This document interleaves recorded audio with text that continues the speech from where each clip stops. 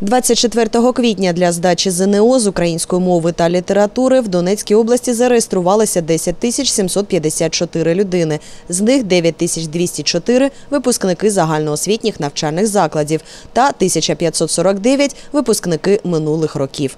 До проходження оцінювання доїхали не всі зареєстровані. Так, 10 тисяч 134 особи все ж зайшли до кабінетів. Ця цифра склала 94,23% явки. Усіх бажаючих по області могли прийняти 53 пункти проведення ЗНО в 20 адміністративних одиницях. Серед них Слов'янська загальноосвітня школа номер 12, де оцінювання знань пройшло 197 з 210 зареєстрованих. По процедуре проведения практически ничего не поменялось. Э, Присутствовали и старшие инструктора, и инструктора, и дежурные. Сегодня у нас была э, государственная охрана с металлодетектором, проверяли детей на наличие запрещенных предметов, телефонов и так далее.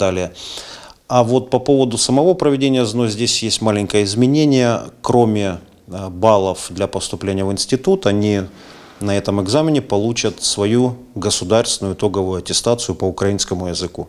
То есть в школе они сдавать не будут, а оценку нам пришлют из результатов ЗНО. Як повідомили учасники ЗНО у Слов'янську, жодних проблем у проведенні тестування не було. Єдиним прикладом порушень стало використання мобільних телефонів, за що з тестування було виключено кілька школярів. Наступні оцінювання будуть проходити у місті Краматорськ, а результати першого тесту з української мови та літератури будуть відомі після 12 травня.